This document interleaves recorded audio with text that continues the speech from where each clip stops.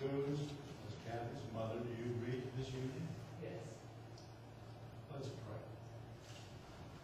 Father, we thank you for this opportunity to come together and to give witness to vows and pledges that will be taken by Catherine and Jim, and to give our support and encouragement to them.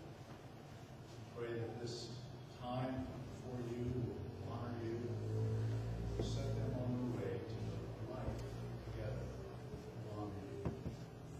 Pray in Jesus' name. Amen.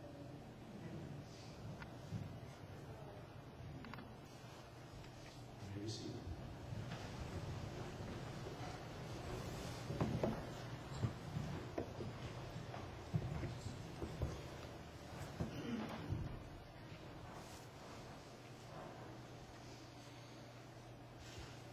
As we talked when we met together a couple times, marriage is a God ordained thing. Actually, the most important relationship we have, except for our relationship to God in Christ. We encourage you to make sure that relationship is the strongest that it can possibly be. Your wives not entering into marriage lightly. To make marriage all that it can be, we must obviously look to God as well. Catherine, do you believe you're ready to make such a commitment to Jim? I am.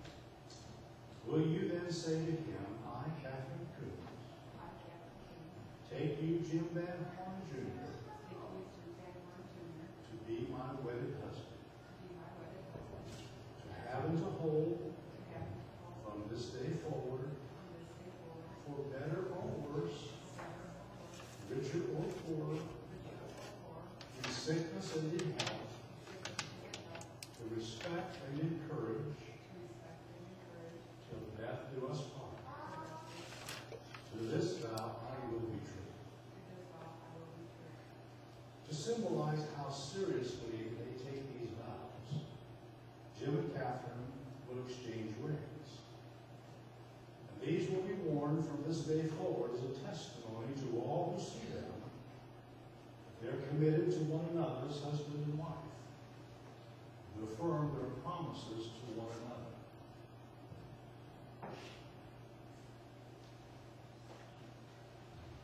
Jim, this ring